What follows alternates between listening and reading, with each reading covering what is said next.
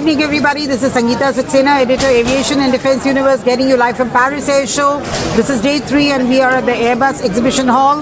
And the excitement of the day is that there has been an announcement for, uh, for the award for the best livery, which is for the A350's new freighter, A350F. And we have with us the winner, John Feehan from Dublin, Ireland.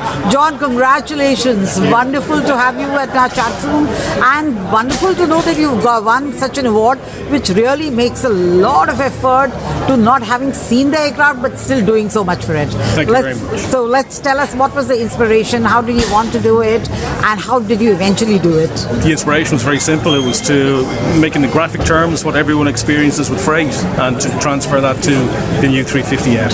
Uh, so we did this with the icons, which everyone is familiar with when packaging, because global freight and business is getting smaller and smaller. Part of the 350F brief is to make savings and to make global freight easier, faster, and quicker and cleaner.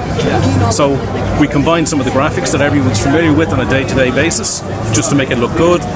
The Canadian guys then came at it from a slightly different side. We both had the brown paper thing in common. It all worked out. We had a crunch with the Airbus graphics people. They did a fantastic job. And now we have today the result, which is a combination of both. And it works perfect. And, uh, you know, what, what was the software? Did you do it, the total I design? use was- uh, the Adobe suite of software, so Photoshop, Illustrator, um, they're the two main ones, and uh, that's it. Vector files. Airbus were kind enough to give us good files to begin with, so it made the job a little bit easier. All right. And how, uh, how long did it take you to do it? It took approximately one day, one working day, from start to finish. But we work tightly. Uh, I'm experienced in the graphics business, so when we get a job to do, we do it. But I needed some convincing from my son Charlie because uh, he said we really should enter this. path. He wants a career in aviation, so this was a good start. But do you have a career in aviation? No, I don't have a career in aviation, but he wants one. Does it motivate you to now join the aviation world? I'd love to do some more work like this in the aviation world. It would be really good, but uh, we'll see what happens. All right. Thank you so much, John. Wonderful.